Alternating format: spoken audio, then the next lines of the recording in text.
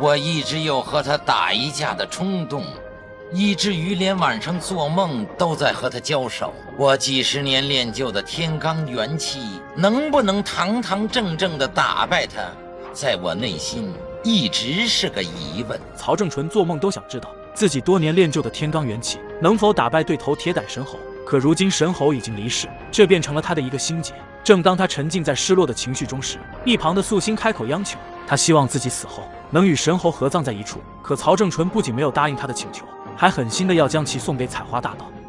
把铁胆神猴埋了，把这女人交给采花峰。曹正淳看着神猴的棺木下葬，内心十分得意。然而就在这时，上官海棠一剑袭来，曹正淳见状却是丝毫不慌，淡定两下就将其击退。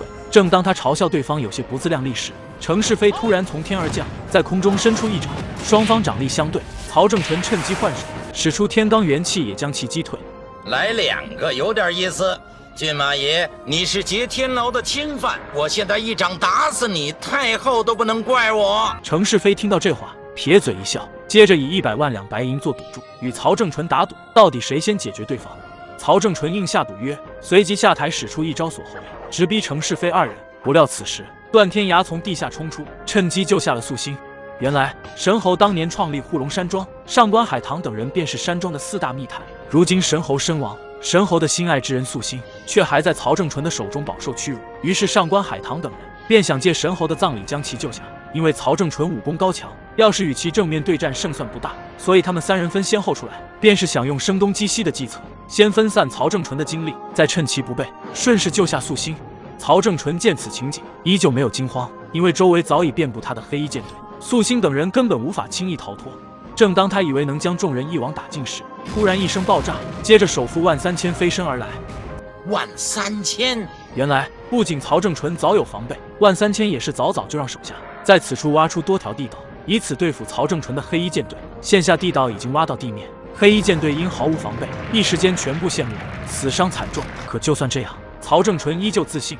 你以为这样就可以打败我了吗？台可通神，除了忠义跟情三个字买不到之外，没什么做不到的。今天你有多少钱，我都要你的命！不料话音刚落，神猴突然破关而出，看到他起死回生，众人又惊又喜。他们这才明白，这一切都是神猴的计谋。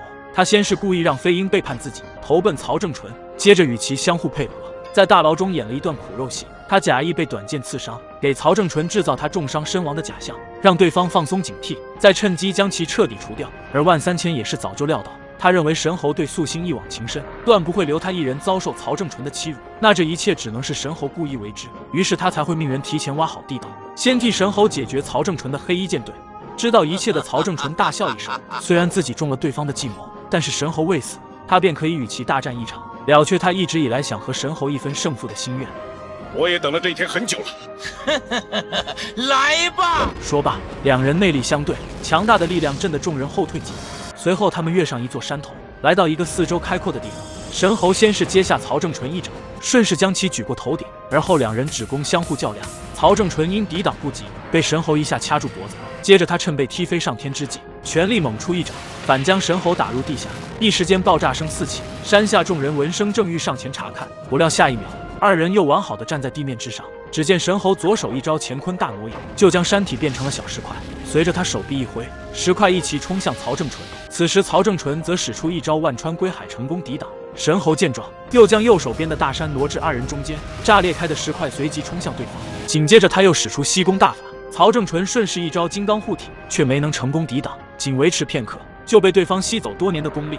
你真的会吸功大法？我吸了近两百个人的功力，才有今日的境界。你童子身所练的武功，今天已经为我所用。曹正淳闻言气得口吐鲜血，他没想到自己苦练多年的天罡元气就这样消失殆尽。而神猴之所以没有将他彻底吸干，便是想从他的口中得知第三颗天香豆蔻的下落。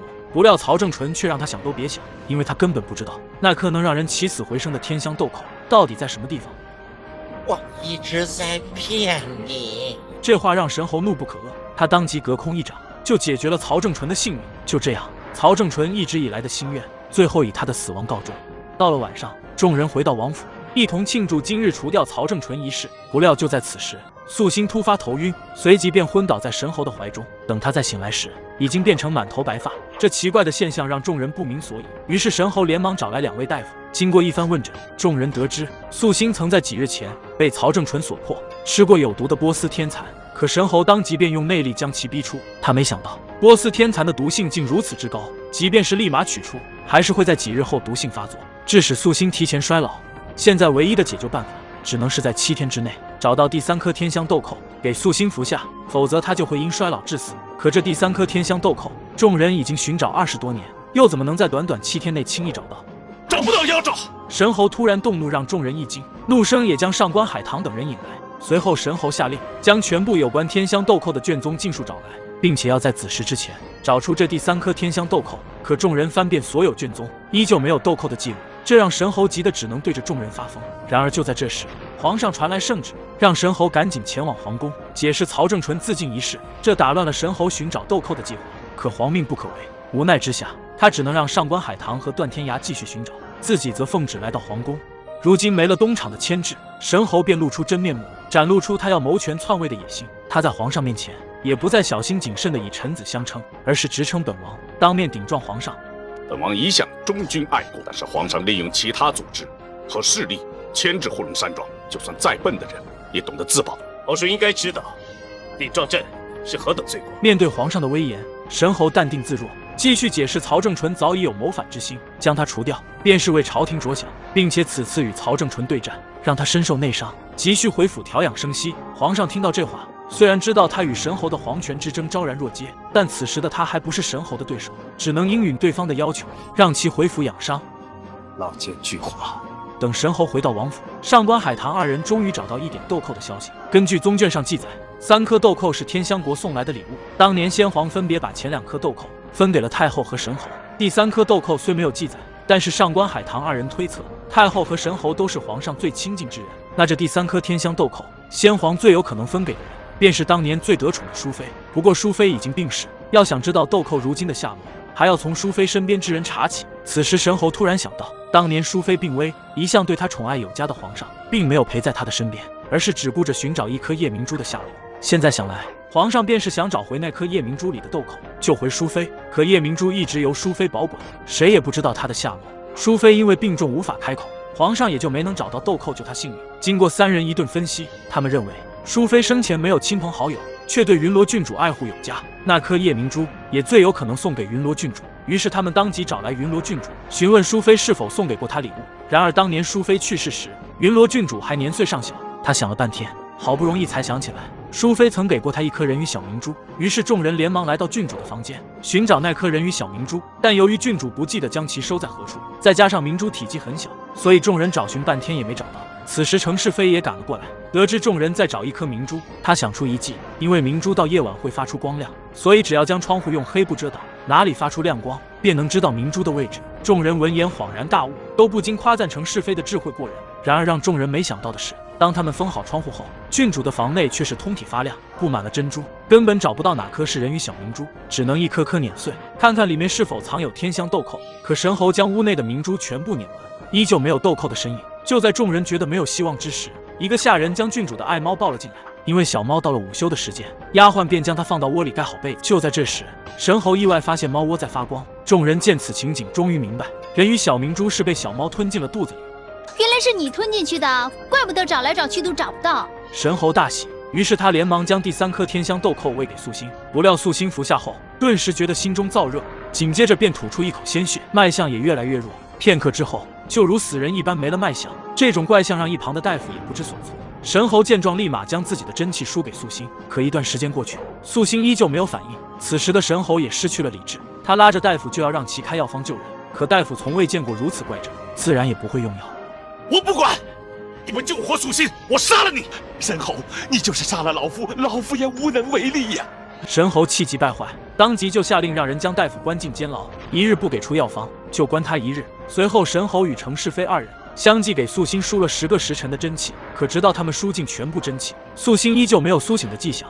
神猴不愿相信自己多年的谋划，就是为了给素心找到三颗天香豆蔻。如今素心吃完豆蔻，不仅没有恢复如初，还变成现在这个模样。这让他不知道如何是好。没了办法的他，只能大声祈求上苍，甘愿用他十年的寿命换素心苏醒。就这样，神猴守了素心一夜，因为伤心过度，他昏睡在了床边。不料没过一会儿，突然一只手抚摸神猴的脸庞，神猴睁眼一看，竟是黑发的素心苏醒过来。你没有死，素心，到鬼门关走了一趟，又安然无恙回来了。我不是做梦吗？你不是做梦，我真的没事。原来吃下第三颗天香豆蔻之人，会立即元神出窍，呈现假死的症状，直到一天一夜之后才能恢复元神，完全苏醒。明白一切的神猴大喜过望，他觉得是上苍听到了他的祈求，让他这么多年的努力没有白费。如今素心身体彻底恢复，神猴便是完成了他最大的心愿，与素心二人厮守终生。好了，以上就是本期视频的全部内容，更多精彩视频，我们下期见。